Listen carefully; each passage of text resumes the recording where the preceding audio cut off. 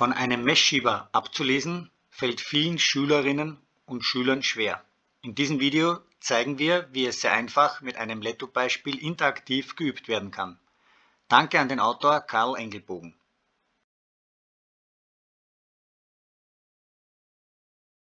Nach erfolgreicher Anmeldung am Exchange-Server von Letto wähle ich Beispiele editieren und nutze danach die Suchfunktion um nach dem Begriff Messschieber zu suchen. Es werden mir bereits hier mehrere Beispiele vorgeschlagen. In diesem Video werden wir uns mit der Realisierung von Karl Engelbogen auseinandersetzen. Mit diesem Button hier wird die Frage sofort geladen. Mit dem Vorschau-Button wechsle ich sofort in die Beispielvorschau, sehe das Beispiel also genau so, wie Schülerinnen und Schüler es sehen werden.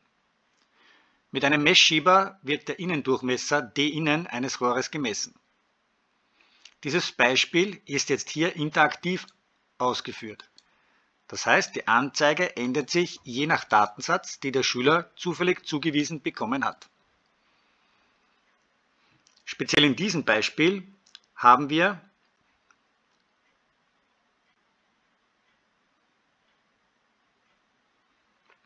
eine Lösung von 72, speziell in diesem Beispiel haben wir eine Lösung von 72,05 Millimeter. In einem weiteren Beispiel, einen anderen Datensatz, wird entsprechend eine neue Grafik dynamisch generiert.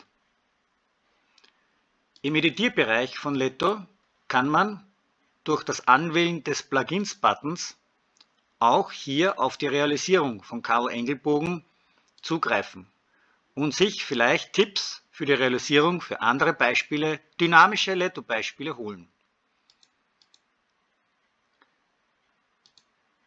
An dieser Stelle danken wir den Lettorianer Karl Engelbogen für die Umsetzung des Beispiels.